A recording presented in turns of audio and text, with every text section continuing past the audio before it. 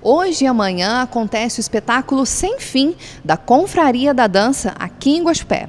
Eu estou com a Diane Itimaro, uma das diretoras do espetáculo, que vai passar mais informações para a gente sobre esse espetáculo. Diane, como é que vai ser para o pessoal que está aqui em Guaxupé e vai conferir aqui no Teatro Municipal? Então, a gente trouxe esse espetáculo para a criançada de Guaxupé, viemos de Campinas, é um projeto que está envolvendo uma circulação grande, a gente já fez muitas cidades do estado de São Paulo, fizemos Pouso Alegre, aqui pertinho, né?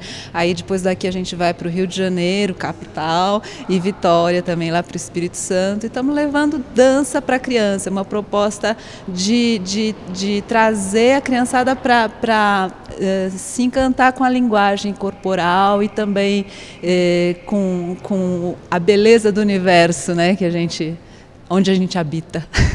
O Diane, é, são alunos da rede pública municipal e estadual, né? O que, que esses alunos virão? Você espera encher aqui o teatro?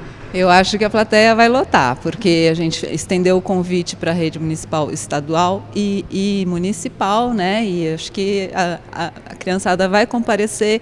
E a gente está também convidando os artistas e quem se interessar para conhecer a nossa linguagem, que parte da plateia está reservada para o público espontâneo. Então, quem quiser conferir, vem aqui. Diane, qual que é o horário que acontece hoje e amanhã? Hoje às 15 horas e amanhã às 9h30 da manhã.